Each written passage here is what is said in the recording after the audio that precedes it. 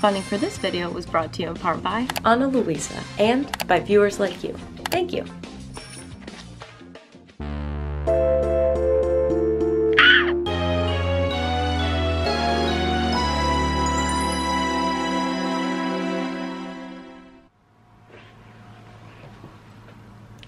People, welcome to video.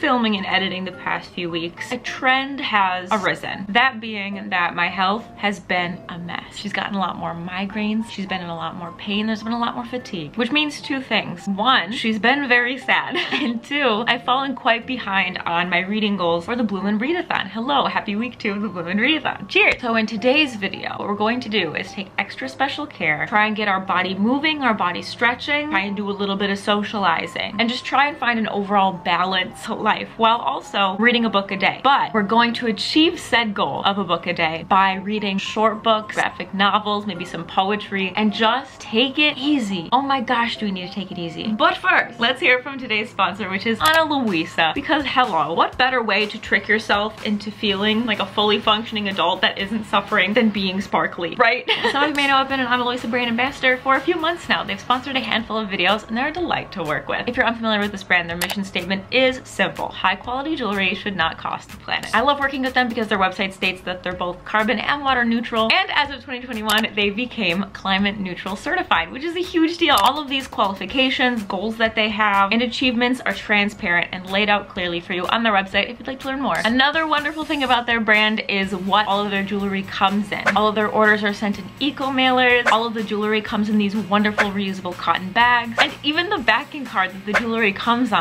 is on recycled paper. But My personal favorite part is that their diamonds are lab grown, meaning that they're cruelty free, but still sparkle just the same. However, what I think makes Ana Luisa the most environmentally friendly is how timeless all their pieces are, which means you can wear and rewear them for years to come. This is great news seeing as the holidays are coming up. You can choose an ethically and environmentally conscious gift for you or someone that you love. And if you're looking for some inspiration, let's discuss the pieces that I most recently got through them. Starting with these Michelle earrings. Oh my gosh, these are such a statement piece and I think that they just work perfectly for spicing up a plain day. Look at how they catch the light. Look at these big, beautiful coin circles. They're nearly blinding. I paired these Michelle earrings with these Alina earrings and these go in the complete opposite direction because these little hoops work great for staying put together but sporting a more casual feel or like I did, you can pair them with a more poppy piece and create a kind of balance. However, I think my favorite piece that I received this month is the Rebecca necklace. It pairs so well with the Rivera earrings that I already got from them earlier this year. So even though it may be the gloomy season, I can still create this bright sunshiny look and both pieces have these beautiful moonstones in the center which I just think are so pretty. So if you would like to gift yourself or someone you love with something sparkly this holiday season, you can click the link in the description box below and partake in Ana Luisa's Black Friday sales. Thank you so much Ana Luisa for being a consistent sponsor on this channel and for sponsoring this video specifically. Let's dive back into the scheduled content, shall we? All right, we have to pack our backpack because I'm meeting some friends at a cafe. We're gonna get some work done. Are you ready? Wallet and keys, check. iPad, check. Laptop charger, Dutch binder, check. Pencil case, laptop, water bottle, and my current read. As of right now, I'm reading Memoirs of an Imaginary Friend by Matthew Green. It's about a little boy on the spectrum and his imaginary friend, but it's from the imaginary friend's perspective, so it's very interesting. I'm only on chapter five, but that's okay. Um, and that's it. That's a backpack. We're ready. Do we have time? Yes. Let's double check with the bingo board, shall we?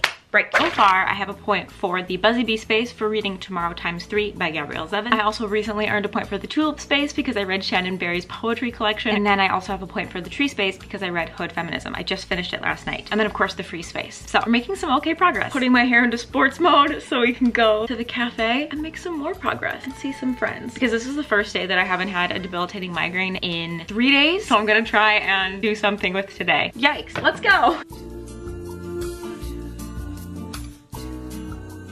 And we're back. What was meant to be a study cafe time became meeting up with one person, getting sushi, and gossiping over tea. She left the house though, so that's a win. Not even 5 p.m. and it's getting dark. It's the season. So I'm gonna change and read some. Let's do it.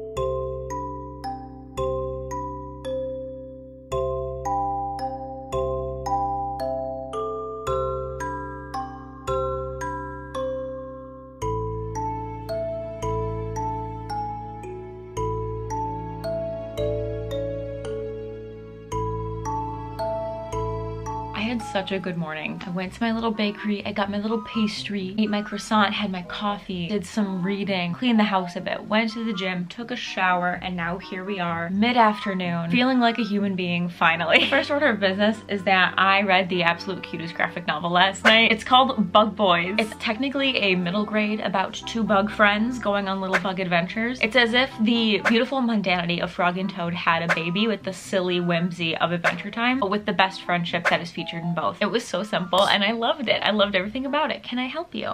Oof, please hold.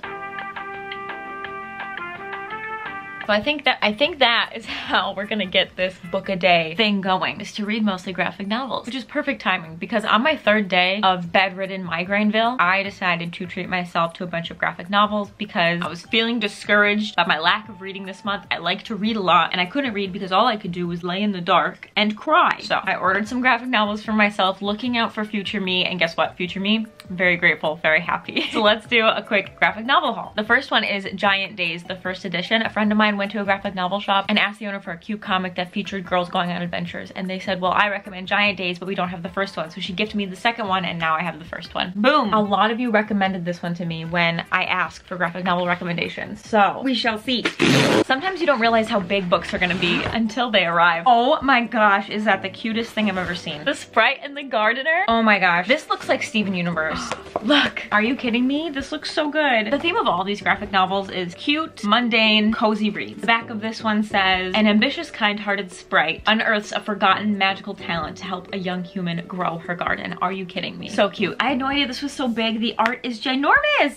I'm so excited. Oh, thank you, past suffering me. You really did me a good one there. I also finally have The Boy, the Mole, the Fox, and the Horse. I've been wanting to read this one for years, but it's always been at least 27 to 35 euros everywhere I went. But there was a sale. This is like a children's book that kind of has a similar art style to Winnie the Pooh. I've heard that it's very simple and very powerful, just very cute, very sweet. And every time I see it at the store, I want to read it so bad, but it was so much money. And now it was less money. Boom! The next book was actually made by the same publishers who published Bug Boy, so I know I'm in good hands. It's the Seance Tea Party. The art style in this one, like this is exactly what I look for in my comics. I don't want to break the spine yet. She's brand new. No one has time to play outside or use their imagination or do anything fun. Who wants that? Not Laura. Not me either, Laura. Me neither. There's three more. She was so sad. Next one is This Was Our Pact by Ryan Andrews. This was recommended to me so many times from y'all. It's about this group of friends who follow the lanterns that their village lights during the autumn equinox and they all get on their bikes and they chase the lanterns down to see where they really go. Again. The art, are you kidding me? I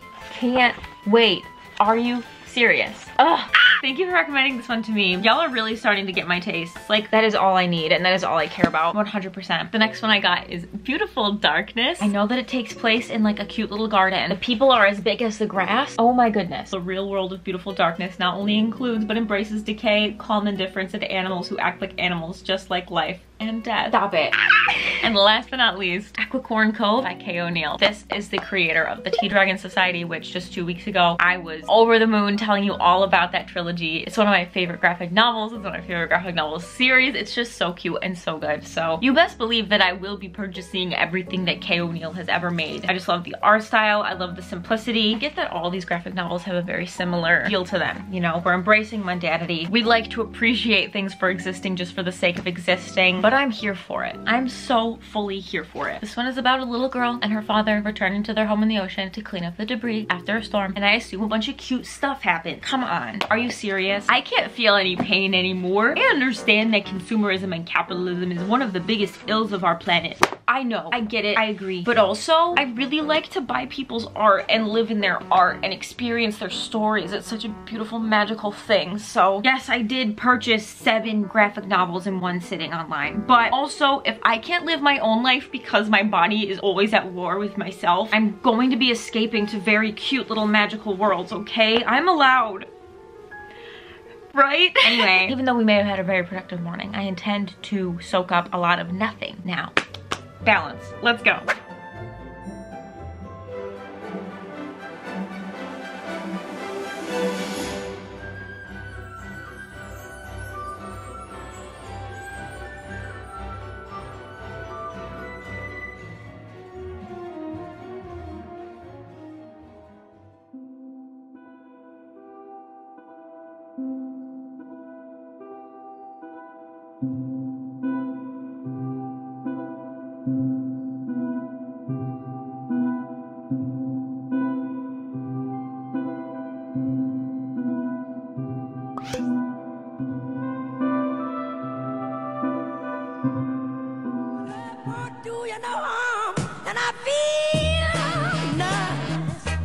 That sugar and spice. I feel nice. That sugar and spice. So nice, so nice. I got you.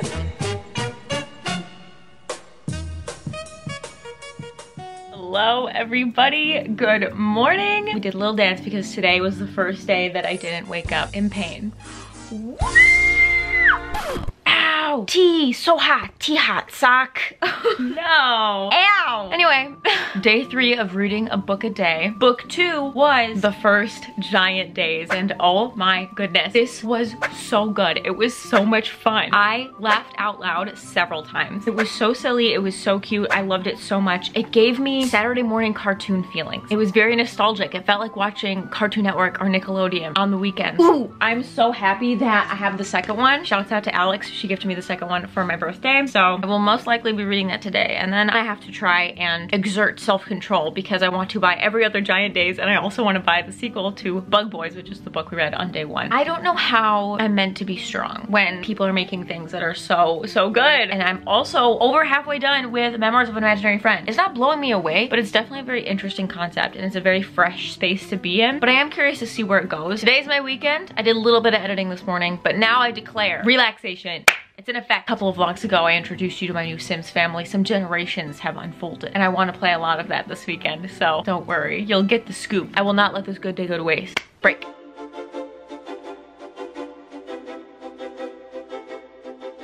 So I just got done playing hours of The Sims and I feel like I owe you an update. The family started with a teen mom and a toddler. The goal of the family was for the mother to save up her money so that her daughter could go to university all alone and she did it. And right after her wife died, she decided, you know what, why don't we both go to university? And so they did. Her daughter just graduated with a 4.0 GPA with an honors degree. So now she's like a lawyer or something, a paralegal. Her job is so fancy, I don't even understand it. She makes like over 300 simoleons an hour to paint the picture. However, before said daughter got that degree. She did go out on a wild night on the town and got pregnant as a student, but that's fine. Her daughter is pretty grown now. Her name is Lingon because the family's name is Barry. Her daughter's name is Lingonberry. I'm sorry. Anyway, on graduation night, after receiving her degree, she fell in love with this man who very much looked like a fine boy. I could not wait to edit him in CAS. And they also got knocked up pretty early in the game, but you know what? It happened. She was gonna propose to him, but he decided to think about rockets and walk away. And literally right after discovering I was pregnant, he's like, okay, bye, thanks for hanging. So I didn't know if they had a future. However, he came around and now they are in love and they are married. And now that second generation girl is making bank. They live in the city in this bougie apartment that I, that's what I spent most of my time today doing was making that apartment. It is gorgeously, beautifully decorated to the high heavens. And the OG teen mom is now an elder. She's a little grandma and she has two more credits before graduating university. But now she can basically just kick back, relax because her daughter's making the bread. And said daughter is gonna have a baby any day now. I'm gonna name it Blue. Blueberry. I'm sorry, again. And that's what you missed on Glee. But yeah, it's going pretty well. It's going pretty swimmingly, to say the least. That's about it. I love the weekend.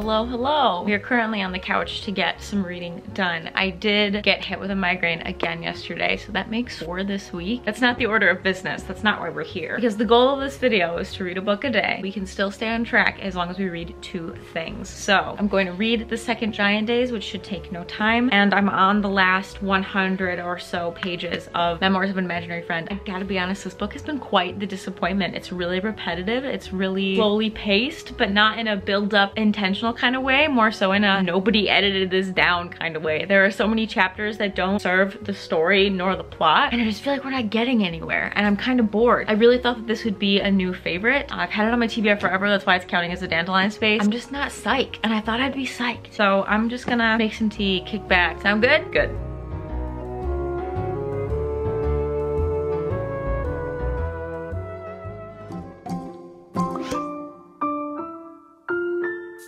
Hello,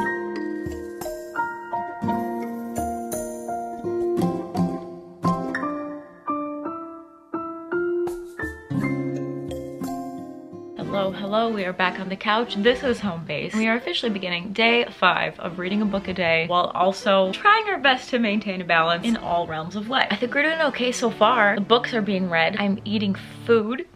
I don't know. As long as you're trying, that counts for something, right? Right. Let's check in with the bingo board and let's check in on the last two books that I read. First and foremost, I finished Memoirs of an Imaginary Friend by Matthew Green. Probably my biggest disappointment of this year. This is going to count as my dandelion space because I've had this on my Goodreads TBR since like 2012 or something absurd like that. And I thought that this would be a new favorite. On the back it says, for readers who loved Room and the Curious Incident of the Dog of the Nighttime, which are two books that I very much enjoyed. This book didn't have a theme and not in a let's celebrate mundanity kind of way. This concept wasn't fleshed out, nor was it edited. There were so many chapters that didn't serve the story, that didn't move the plot along. It dragged. It's almost 500 pages. Under no circumstances did it need to be that long. It was so flat. I am so disappointed. There were just too many plot holes. There was too much wasted time and overall just too much wasted potential. But then we had to win because I read The Second Giant Days and I love these graphic novel comic little ditties. They're so good. They're so funny. They're so cute. I love following Daisy, Susan, and Esther. I love getting caught up in their hijinks and shenanigans I don't often giggle out loud at books, but this made me giggle. I'm just gonna count the first and second Giant Days as my daffodil space because this is the ultimate friendship book, in my opinion. So, so far with this week, the points that we've accumulated are Bug Boys gave us a point for the Sunshine Space, Giant Days, Volume 1 and 2, we'll just double dip a little bit, gave us a point for the Daffodil Space, and Memoirs of an Imaginary Friend gave us a point for the Dandelion Space. And so that's where we stand as far as the bingo board is concerned. So as of right now, I'm gonna start two different books. We're sticking with the graphic novel theme, and so I'm going to read Alone in Space, which is a graphic novel collection by Tillie Walden. Tillie Walden is one of my favorite, favorite, favorite graphic novel artists, creators ever of all time, and she's also queer, so this is gonna count for our Green Carnation space. And then also, I would like to start Audre Lorde's The Black Unicorn, which is a collection of poems, and it was published in 1978, so this will count for the Earth space. I hope this video is providing little tips and tricks on how you can feel more accomplished despite maybe taking it a little bit easier on yourself, on your brain, on your reading goals. I'm having a lot of fun, and my body's definitely thanking me for taking it a little bit slower. And also my soul is nourished by all this beautiful art and all of these sweet things. So no complaints here. I'm just gonna be bouncing between editing and reading some and editing and reading some for the rest of today. So that's it, bye.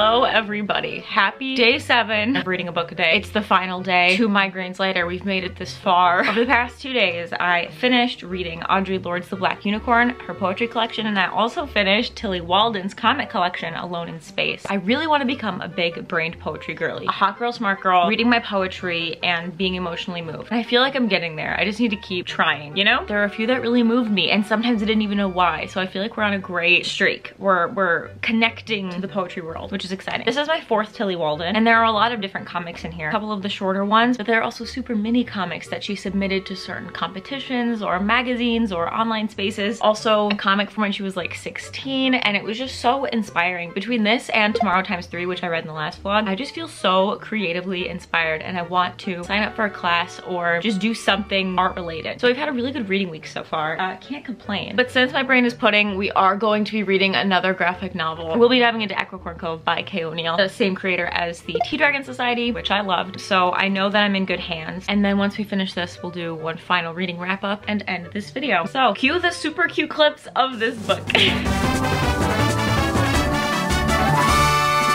we did it. We read seven books in seven days. Five of them being graphic novels, one of them being a full-length novel, and the other being a small poetry collection. I really love doing this challenge this week because my physical health has taken a bit of a decline, and so I haven't been able to read as much as I would like. But there's nothing like literal, colorful stories to help me escape and enjoy my time just a little bit more. The biggest disappointment of the week was definitely Memoirs of an Imaginary Friend. I really thought that I would like this one, and I don't think I did. Like, I don't think I am happy to have read this book. A pleasant surprise was the poetry collection by Audre Lorde. There were some poems that truly blew me away and I definitely thank it for boosting my confidence in reading more poetry. Excellent work. Alone in Space I knew would be good, but I had no idea just how much it would inspire me. I spent like an hour looking up classes. I found an online one that is in the United States, so I would have to stay up until midnight to take it, but I'm considering it. I love when books inspire me, and this one did that. This was great. Bug Boys I would also say was a pleasant surprise. I mean, of course, was I expecting a bad time with a cover like this? No, but I was not expecting it to make me feel like I was reading a Frog and Toad and watching Adventure Time at the same time. And I think that that's very impressive. I will definitely be getting the other two. I will definitely be getting the other two. Giant Days I also knew would be good. So many people have recommended this one to me. It's been on my radar for a hot minute. But what was surprising to me was how hilarious they were. It takes a lot for me to giggle out loud at something. And this had me tee-heeing. This was hilarious. Loved it, loved it, loved it. The collection begins because I'm gonna get all these eventually too. And last but not least, we just read Aquicorn Cove, which is about a little girl and her father returning to this ocean island to clean up after a storm. This one counts for the Lily space, which I didn't know. It touches on grief just a little bit. It still has the light, easy reading as a children's book. And most importantly, there's themes of the ocean dying, which I thought were very nicely handled. It was very cute and simple. Definitely for a younger audience, but I love things for younger audiences. So I love Kay O'Neill. I love their art style. Incredible. And so this is what our bingo board looks like right now. We've made some serious progress. I'm definitely gonna try and kick it up a notch next week, assuming that my health is cooperative. So thank you so much for tuning in to this seven book in seven day challenge reading vlog extravaganza palooza special. Friendly reminder that this video was brought to you by Ana Luisa, a sustainable jewelry company. You can go ahead and click the link in the description box below if you would like to gift yourself or someone you love with something sparkly using Ana Luisa's Black Friday sales. And a big extra thank you to everyone on patreon.com who make it possible for this to be my job. It's strictly because of those patrons that I'm able to upload as frequently as I do. Thank you so much for the gift and privilege of working from home and for the ability to say that drawing snails and reading books is my job. Love ya. And as always, thank you for clicking, thank you for caring, and thank you for being nice. I'll see you in the next one. Bye!